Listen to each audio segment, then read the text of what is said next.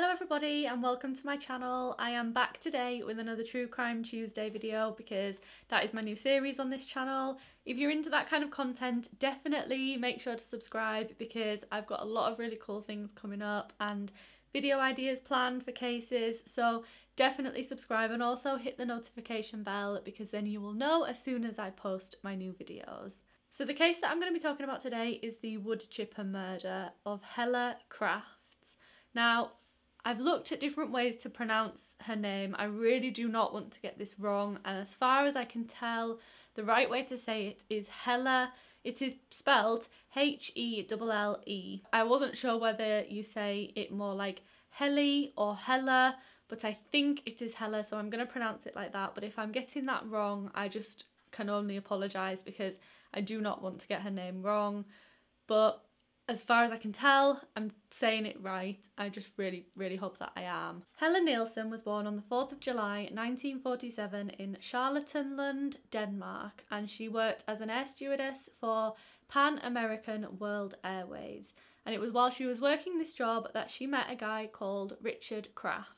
Richard was born on the 20th of December 1937 and he was actually a pilot for Eastern Airlines. The two of them got to know each other working these jobs and they ended up getting together and they later got married in 1979. Once they got married, they decided to settle down and start a family in Newtown, Connecticut, and they went on to have two sons, Andrew and Thomas, and also a daughter named Christina. Hella kept her job all throughout this, and when she finished having her children, she would continue to fly all around the world as an air stewardess, and Richard continued his job, and he also picked up a second job as a police officer. It appeared on the outside in that they were happy together. They had a nice house, children, good jobs, but things were really rocky even from the beginning with Richard cheating on Hella all throughout their relationship. It was reported that Richard was once asked why he chose to marry Hella, and his response was Hella was pregnant at the time we were married. We knew she was pregnant. It was too far advanced for a doctor to perform an abortion, so we decided to get married. Hella knew that Richard was having multiple affairs throughout their relationship. I think she was suspicious of it for pretty much the entire time. She'd seen things on his phone and she just knew that there was something going on and at one point she met up with a divorce attorney and she also hired a private investigator and he was named Keith Mayo. Keith actually managed to provide Hella with photographic evidence of Richard having an affair and he photographed him outside of his family home and he was kissing a fellow air stewardess. So obviously somebody that he'd met on his job, just like how he'd met Hella. The following month, in October, after Hella had received this photographic evidence from Keith, she went back to the divorce attorney and officially filed for divorce. While she was having these meetings about the divorce, she made sure to tell her lawyer, if anything happens to me, don't think it was an accident. She made sure that she told him that, which was very interesting. She was very worried about what Richard's response would be when she told him about the divorce and when he found out about it. She was very scared about how he would react. And she also made it known to her lawyer that Richard kept a lot of guns at the house. She wanted to make sure that he was aware of that too. Now, Hella had evidence of Richard's cheating. She could have easily divorced him on the grounds of adultery or something like that, but she chose a no fault divorce, which basically just means that they sort of separated more mutually. There wasn't one person who had done something wrong. And she did that because she didn't want her children to ultimately find out what was going on. And she was worried about what the community would think as well. Newtown wasn't a massive town, so everybody kind of knew everybody and she just didn't want it to turn into a big scandal. On the 18th of November 1986, Hella had just landed in New York after working on a flight from Frankfurt, Germany. And she was in the car with two of her colleagues, all sort of carpooling back to their houses after working on the flight together. And as they pull up to Hella's house in Newtown, before she gets out of the car, she sighs and says, Richard's home. And that was the last time anybody would see her alive. So a couple of days go by after working this flight and nobody sees or hears from Hella at all. And whenever anybody tries to ring her, all they can do is get through to Richard. And he tells people that she's working on a different flight. But obviously, the majority of her friends are fellow air stewardesses and air stewards, and they all know the rules. And the regulations at the airline means that you can't work another flight within a certain time period without having the specific rest period from working a long flight. That's just the way it is. And so they knew that she wasn't going to be working another flight. That isn't how it worked. So they were definitely a little suspicious of this. But then Richard's story changed again, and she had apparently gone to Denmark to stay with her mother, who wasn't very well. But that was proven to be a lie when her mother actually spoke to people and said, Hella's not with me and I'm not ill, so what's going on? Obviously, by this point, all of her friends and family are very confused and they don't really know what's going on. So Richard then says that she's actually on holiday somewhere with another friend, and that is why people can't get in touch with her. But after another two weeks have gone by and nobody has seen her, nobody has heard from her, people are concerned, and one of her co workers, Rita Buonanno, I know that I'm going to be saying that wrong and I'm so sorry, but I don't know how to pronounce it. Rita reports her friend missing with the police. And up to this point, Hella hasn't been declared missing. So everybody's just a little bit confused because nobody has seen her, but Richard keeps making up these excuses as to where she is. So obviously he's not worried about her being missing because he hasn't reported her missing, but no one can get in touch with her. So it was all just very strange. Keith, the private investigator, was also very worried about Hella at this point. He'd learnt that she was missing, that no one had seen her, and he had grown close with her. They built up a friendship while he was working with her, trying to figure out what was going on with Richard, and he knew their situation, obviously. So he was just worried, and he actually went to the police himself and said, I think there's something going on here. I feel like you need to look into this and take it a little bit more seriously. But for whatever reason, the police were just a little bit dismissive of it and didn't seem to be that interested. But Hella's friends also went to Keith and said, We are worried about Hella as well, and maybe you could look into it to see if you can figure anything out and then you can maybe take that to the police just to get their get the ball rolling a little bit because nothing seems to be happening. So Keith took it upon himself to start looking into this and to figure out what was going on. And he spoke to the Crafts family nanny, who was a live-in nanny, so she stayed at the house. And she told Keith that she'd actually noticed a recent stain on the master bedroom on the carpet and it was quite dark in colour and she'd never noticed it before. So around this time police actually went to Hella and Richard's house just to have a look around. Obviously, they'd heard from Keith and Rita's official missing persons report, so they had to start looking into it and doing something. Obviously, that's their job. So they went round to the house just to have a look around and to chat with the nanny as well, just to see what was going on. Nothing official, just having a look. So they check out the property and they speak with the nanny, and she also tells them about the carpet and the big dark coloured stain that had appeared in the carpet. And the police go and have a little look, so they go up to the master bedroom, but when they get up there, they notice that big chunks of carpet have just been cut out from random points in in the room.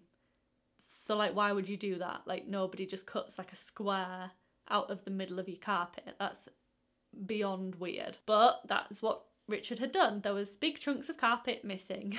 While they were in that bedroom, they also noticed a smear of blood on the side of the bed, so not the mattress, but like the frame of the bed. During the search, as well as the blood smear and the strange carpet cutouts, they noticed a few strange purchases that Richard had made. So they found documents for the rental of a wood chipper and also a receipt for a brand new standalone freezer, which they couldn't find anywhere on the property. So at this point in time, Richard is just going about his day to day life like nothing unusual has happened, that his wife hasn't not been seen for weeks. He's carrying on with his affairs that he's actively been having this whole time. And all of the people that he was actually seeing behind Hella's back knew that he was married, they knew that he had a wife, but Richard didn't mention anything to any of these women about the fact that Hella was missing or he didn't mention anything. Everything was just sort of normal to them. But obviously, by this point, the police have had a look around the house and they've got the official missing persons report from Rita. And husbands generally are the first point of call when somebody goes missing. It just kind of happens. The spouse of whoever's gone missing tends to be the first person that they look at. That's just the way things go. So Richard was a little bit on the police radar at this point. While they were further investigating, they found out that as well as the £2,700 wood chipper that had been hired, Richard also hired out a U-Haul van as well. And he just told people that he needed it because he was going to be getting rid of some wood and like debris around his property and chopping down a few trees that were on his property as well. So after the search of the house had been done and it was kind of getting round the town that there was something maybe going on, a highway worker named Joseph Hine actually went to the police with a very important tip. He told the police that he remembers seeing Richard parked alongside the Southbury shore of Lake Zoar. I'm really sorry if I'm saying that wrong. I probably am. I really do apologise.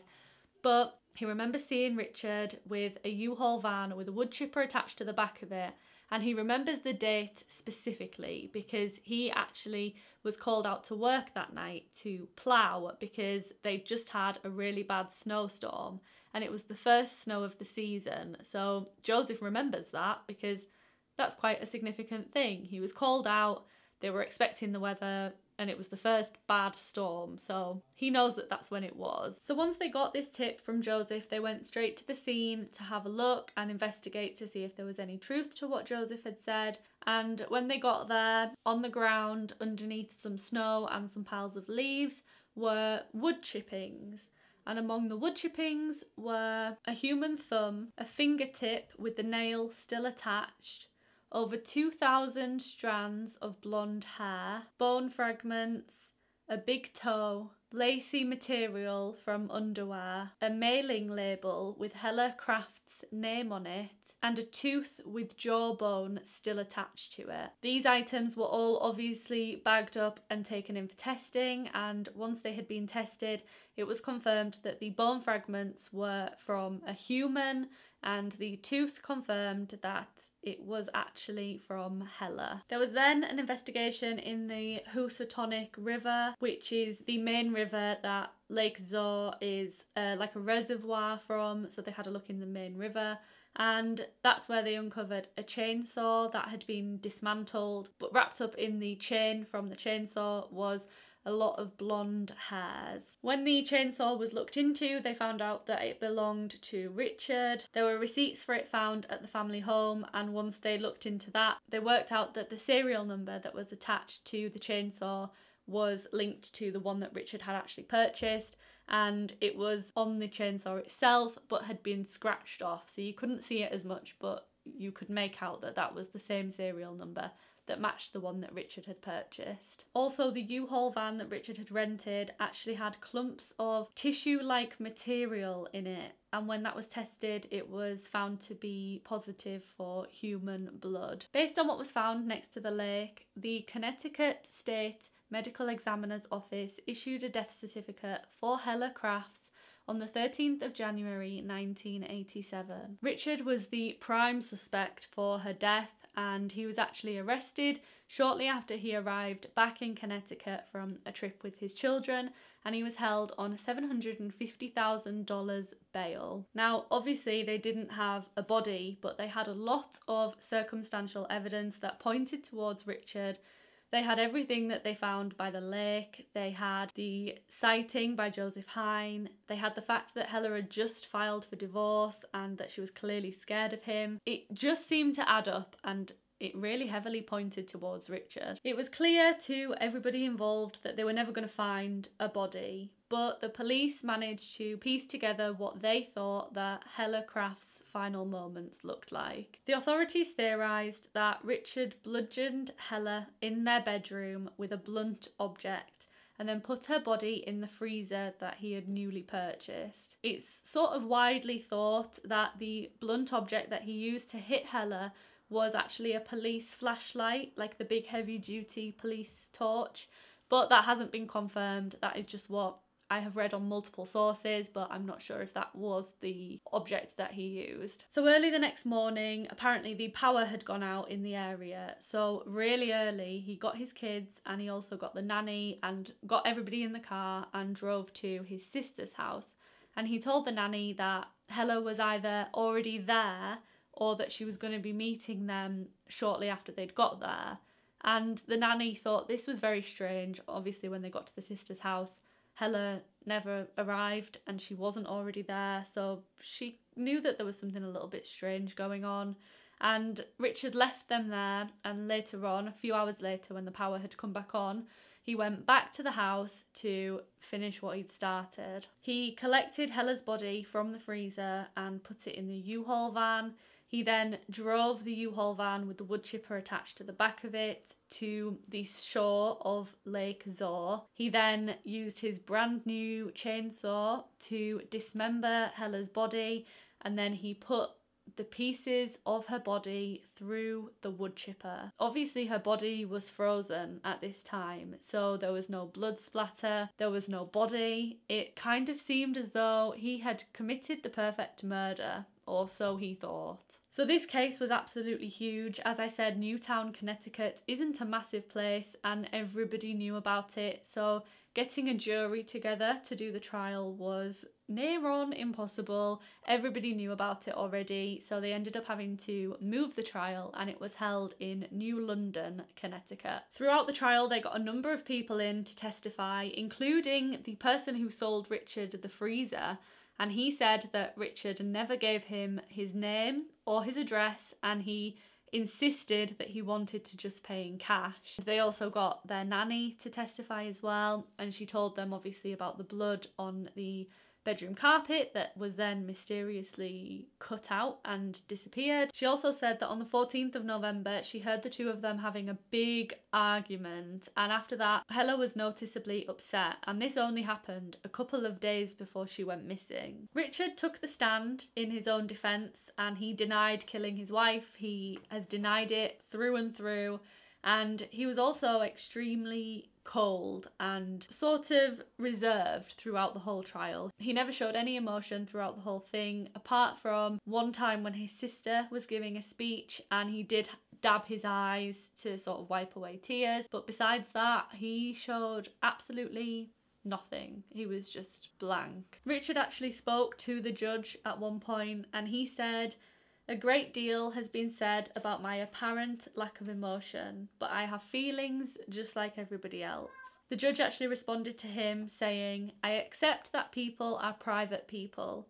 People can have deep emotions and not express them. What I do note is the lack of any remorse. After a few days of deliberation, the trial was actually deemed a mistrial because one of the jurors felt that there was just not enough evidence to convict Richard of murder, so he just refused to continue.